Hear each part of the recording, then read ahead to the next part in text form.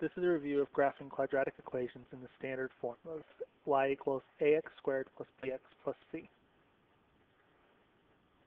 As you can see, we have an equation y equals 1 half x squared plus 4x plus 5.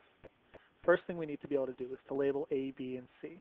To do that, we're going to use the equation y equals ax squared plus bx plus c, which means a is 1 half, b is 4, and c is 5.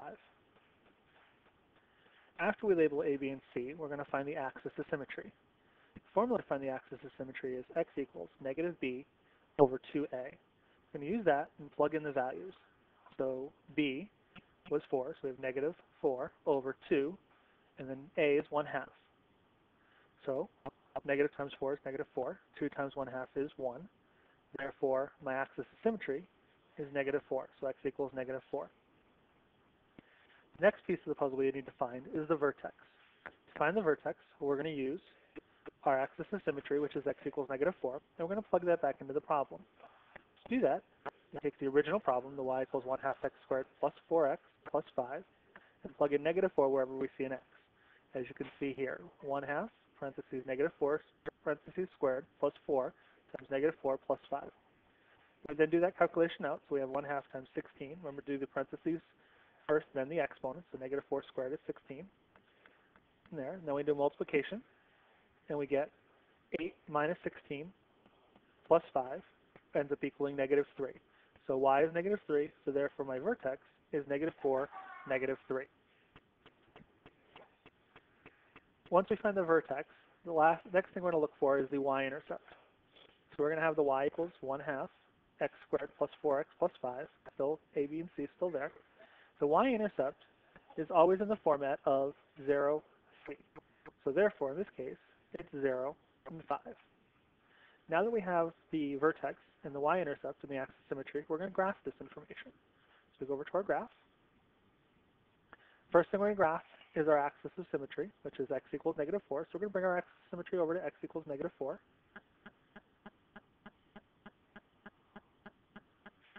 So it's right there.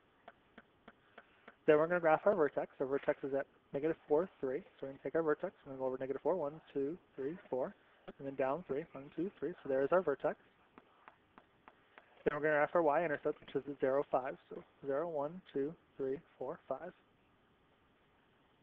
Now that we have a, the y-intercept in our vertex, we need to find a second point on the same side as my y-intercept. This way we can make our curve. So I'm going to go back to our work over here. To do that, I'm going to choose a point that's on this side. Now, I can choose any number between the axis symmetry and the y-intercept since they're so far apart. So I'm going to choose x equals negative 2 for this instance. So we're going to use x equals negative 2.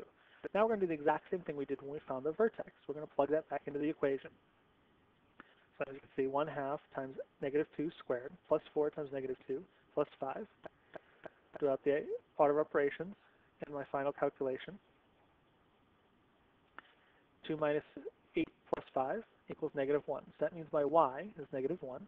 Therefore, my second point is negative 2, negative 1. So let me go back to my graph. And we're going to graph my second point, which is at negative 2, negative 1. So now we have a vertex, our second and our y-intercept. The last step of the problem is to mirror those points over the axis of symmetry so I can get the entire curve. So I'm the first mirrored point, and we're going to go from our second point. It's 2 this way, so I'm going to go 2 this direction. Put a point there. And then my second one, I'm going to take this point, and we're going to go, it's 1, 2, 3, 4 over to this one. So I'm going to go this way. I'm going to 1, 2, 3, 4 over to this point. So now, as you can see, I have my parabola graphed.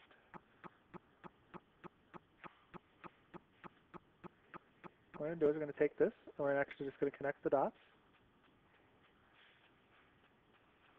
And we have graphed a quadratic equation in the standard form.